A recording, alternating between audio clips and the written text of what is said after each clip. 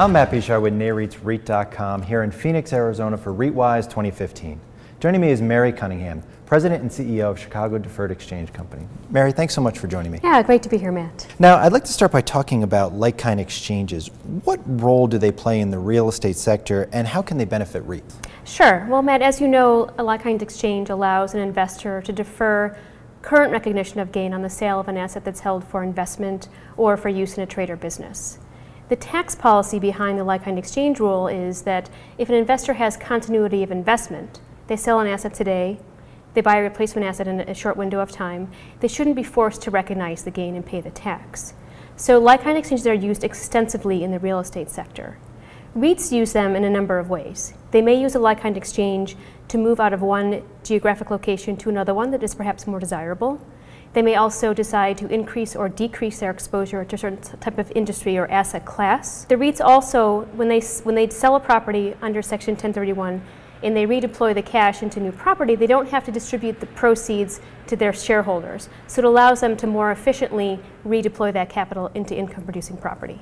And under the tax reform discussions that are underway, 1031 exchanges have sort of come under fire as some of the proposals look to either eliminate them or, severely limit them. What impact do you feel that could have on the market? I mean, our belief is that a repeal or a restriction of Section 1031 would severely harm the real estate sector. It would do a couple of things. One, investors who are accustomed to the deferral and rely on it would hold on to their assets for a longer period of time, resulting in a lock-in effect. Secondly, there would be a higher reliance on debt financing, which could put pressure on the banking sector. We do believe it also would decrease the velocity of the economy. There would be fewer transactions, and it also could harm and reduce GDP in the long term. And lastly, this is your company's 25th anniversary. What have been the biggest changes that you've seen in the marketplace? Well, as you may know, this provision of the code has been around for almost a century. So since 1921, people have been doing like-kind exchanges. In the last quarter century, what we've seen is, is, a much higher reliance on Section 1031 and a much wider application of the code. So we see investors across a wide spectrum of industries and asset classes who rely on Section 1031. It's really become a very powerful economic stimulator.